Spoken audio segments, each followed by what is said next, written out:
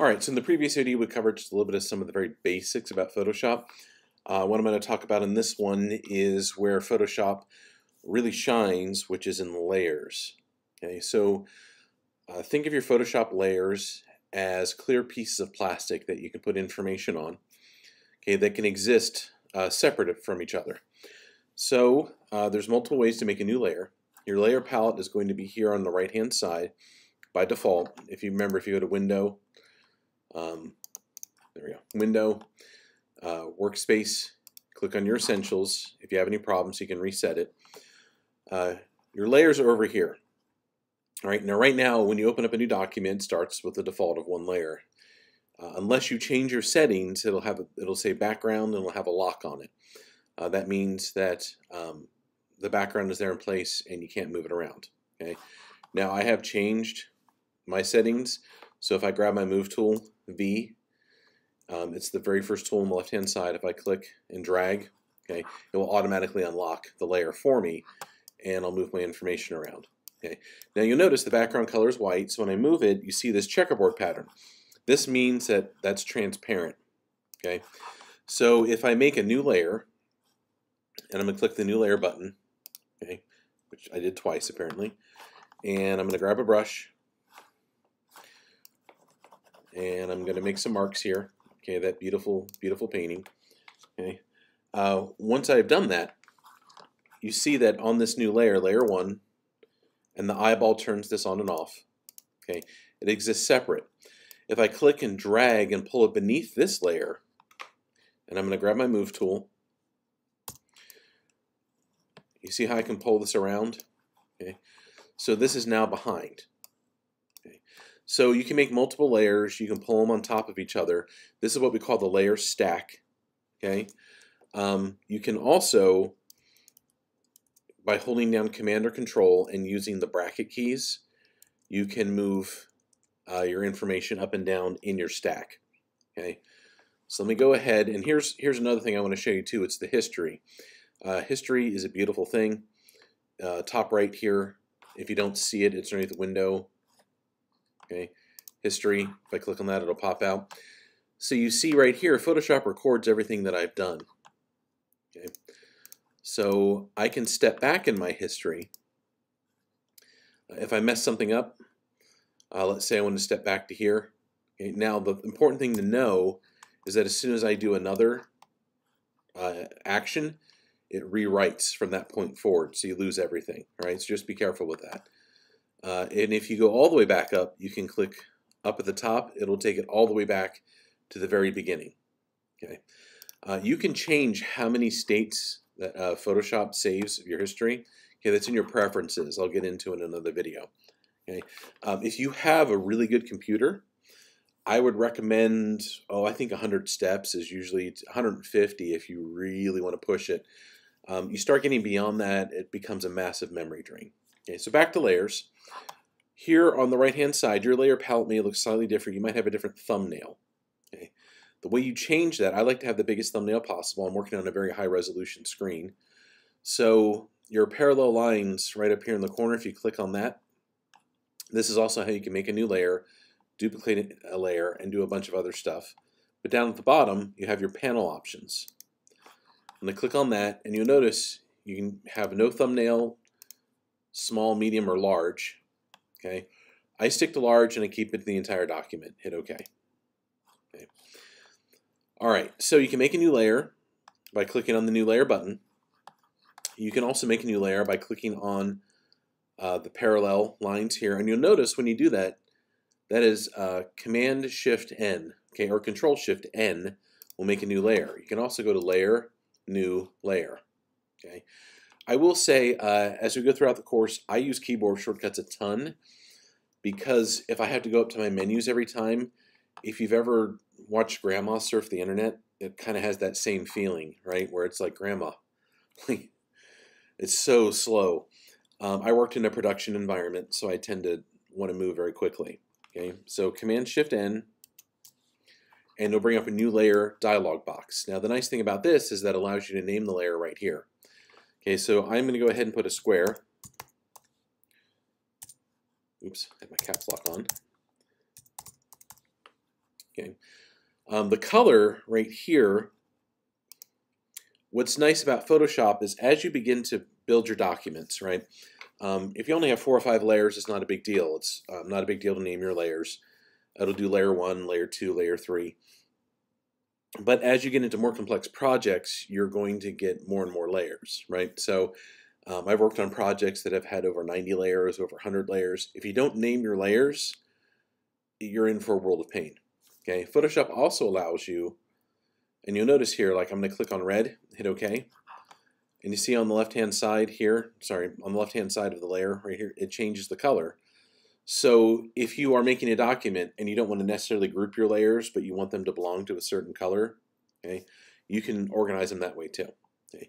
Now, you, if you make a new layer here, you notice it pops, it says layer one. Okay. You can either right click on it, okay, to, to change the name. Okay, you can also change the color here, right? So I can make this yellow. Um, you can also, if you click on the name slowly twice, right? Let's call this circle because I'm going to make a square and a circle. Okay. Now, what I don't want to do, here's the thing in Photoshop, right? Photoshop does what you tell it to. And that's a good thing and that's a bad thing because sometimes you do things that aren't intended. Okay, if I double click quickly on, quickly on the layer, it's going to bring up my layer style. We're not getting into that yet. Okay, so I'm going to make sure I double click on the name if I want to rename it. Okay, or again, right click and rename it. So let's start with the square one. Um, again, think of this now, this layer, and you notice on the right hand side here, you see how um, you might not be able to see, but when you do it in your own, it has a checkerboard pattern. Okay, that means there's nothing on the layer, it's completely transparent. Okay, my background is white, right? I can change the color of my background. Let me do that first. So there are multiple ways to do this. Uh, G is your paint bucket tool, okay, but you want to make sure you're on your paint bucket tool, not on your gradient tool, not on your 3D material drop tool, okay? And let's just do like a dark red, and if I click, it fills, okay? I can also do Shift Delete, okay, which will bring up my fill. Okay? And I can do my foreground or my background, okay, or some other fills. Okay. Um, so I'm just gonna make it a dark color.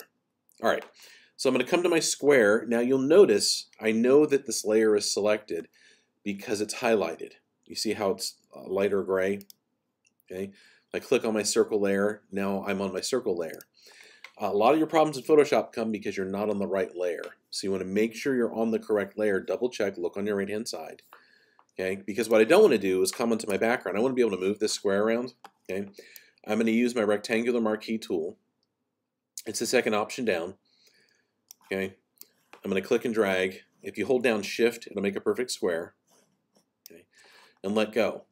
And now I've made a bounding box where I can only edit inside of the selection, right? So selections tell Photoshop only change things inside of this space. So I'm going to grab a brush, I'm going to pick some obnoxious color, and you'll notice if I try and paint outside, I'm clicking and dragging, it does nothing, okay? But now, if I go inside, okay, it will paint inside of that layer. Now, here's the issue I was saying earlier. You notice I'm on my background layer, okay? So when I deselect, if I want to move this around, I can't. Okay, because it is now part of my background. It's not separate. Okay, so if I do that, I'm just going to step back in. Okay, to my history, go back up to my rectangular marquee. I'm going to click and highlight, make sure I'm on square. And now I'm going to take my brush and paint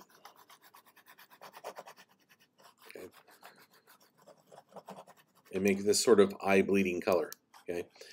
Now, once I have made a selection, once i am finished with it, I can deselect by either using a selection tool like the marquee tool and clicking outside of the selection, and now it's deselected. Okay, or I can hit Command or Control D. That deselects. Or if you want, you can go up to Select, deselect layers. Okay, um, that's the really slow, awful way to do it, but you could. Uh, I'm going to grab my Move tool, now with your move tool, anytime you use a tool, your options will be up at the top. You see right here it says auto select layer. Okay, that means whatever I click, I'm going to grab. So if I grab this, okay, I can move it around. But you see how it's transparent here? I can see the background.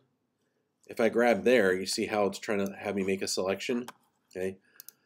Uh, that's because I'm trying to grab the background and I can't because it's locked, okay? So it's sometimes helpful. Um, it's nice when, here, let me do this. I'm going to grab the circle, so I'm going to make an elliptical marquee. I'm going to pull that out. I'm just going to fill it with like a violet. Oops. I'm going to choose foreground color. And I'm going to deselect, Command or Control D. And if I grab my Move tool, now I can move my circle. And if I click inside of my square, I can move my square. Okay, makes life easy that way. Um, once you start getting multiple layers and you're trying to grab something that's behind something else, okay, so here, let me drag this in the layer stack. Okay, and let's say I want to move this circle back here now. Now you'd have to be very, very careful about how I grab, because if I grab here, I'm going to grab my, my square instead. Okay, so sometimes it's easier to turn off auto select up here and then just make sure I'm on the layer that I want, and then I can click and drag anywhere, and I'll move. Okay, so if I click on square, I don't even have to click on the square. I can click out here, and I can click and drag and move it around. Okay. All right. Now, uh, once again, in your layer stack, you're saying what is on top of what. Okay. So I can click and drag things behind. The other way I can do it is if I'm on that layer, I can hit Command and use my left and right brackets, and it will move it up and down in the layer stack. Okay, um, that's helpful. It's not really helpful with two layers because it's just as easy to click and drag. It's really helpful when you have 90 layers and you want to move something back about 10 or 12. Um, makes life a whole lot easier. Okay, click and drag these out. Okay, my circle, click and drag it out. Okay, so um, here is what I want you to do for your very first assignment.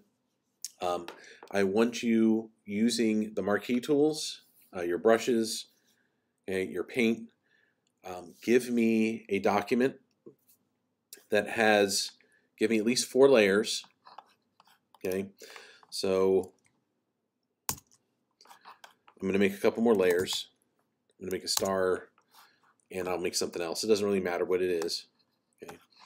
I want you to use uh, your paint, your brush tool. B is your is your uh, brush tool. Okay, make sure you're on your brush. Now remember, all of your options are up at the top, right? So if I click on this little drop down here, this is going to tell me what I'm doing. Okay, I have a lot more brushes than you have installed.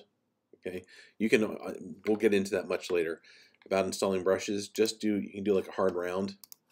Okay, pick a color, okay. And I'm going to paint. Here we go. I forgot I named this star, so I'm going to make it myself a beautiful star here. Okay. okay. So what I want to see is four separate layers. I want you to play with the brush tool, the fill tool, uh, make selections, okay? and I want to see, I want you to submit the document okay, as a .psd at 300 ppi, okay, and uh, minimum of four layers, make it a letter size that's perfectly fine, 8.5 by 11, and I want to see different things in all four layers. You can do whatever you want. Like um, I am this first week, I'm being a little, little lenient on because I just want you to play around a little bit with it. If you want to spend a couple hours and make something really kind of fun and interesting, by all means. Okay, I'm just encouraging you to explore, but the requirement is uh, four layers, each with different things on them. Okay, name your layers. And I want you to go ahead and use the brush tool, the fill tool, and uh, the marquee tools. So that would be your rectangular and your elliptical. So I want to see evidence of all of that. Okay. Um, the next video, I'm going to get a little bit more into selections, and but we're going to go ahead and end here so we can keep it at a, a reasonable length.